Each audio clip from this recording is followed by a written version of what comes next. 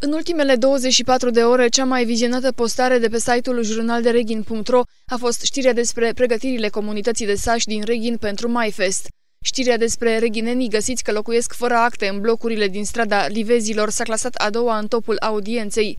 Pe locul 3 ca număr de vizionări se situează știrea despre amenziile aplicate de ITM pentru munca la negru. Știrea despre pregătirile comunității de sași din Reghin pentru MyFest a fost cea mai accesată postare în ultimele 24 de ore pe pagina de Facebook Dareghin TV.